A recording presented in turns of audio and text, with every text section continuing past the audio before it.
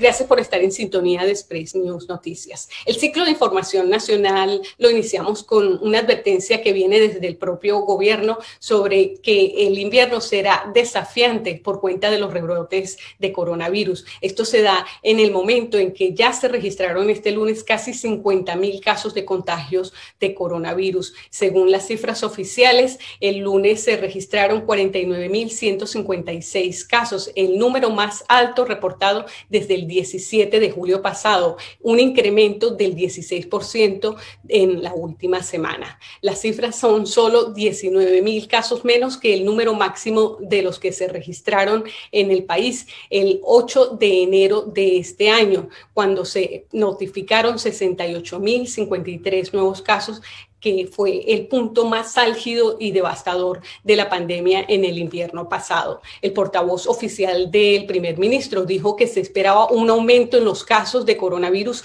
durante el invierno y que el gobierno mantendría una estrecha vigilancia sobre las estadísticas. Las hospitalizaciones y muertes también están aumentando según los datos registrados en el día de ayer, con 50 mil que ya están graves en los casos de los fallecimientos 5.561 personas fueron ingresadas en hospitales en la última semana, un 6.9% más que la anterior.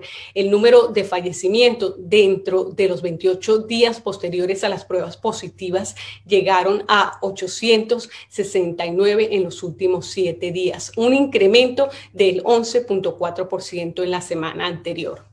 Siempre supimos que los próximos meses serían un desafío, dijo el portavoz del primer ministro Boris Johnson. Lo que estamos viendo son tasas de casos, hospitalizaciones y muertes que siguen en línea con el modelo establecido hace unos meses. El programa de vacunación seguirá siendo nuestra primera línea de defensa junto con nuevos tratamientos, pruebas y consejos de salud, pero obviamente vigilaremos de cerca los casos. El aumento de los casos en el Reino Unido se deben en gran medida a las infecciones entre los niños en las escuelas secundarias, aunque algunos casos se han dado en grupos de edades mayores, incluidos los que tienen hijos en las escuelas.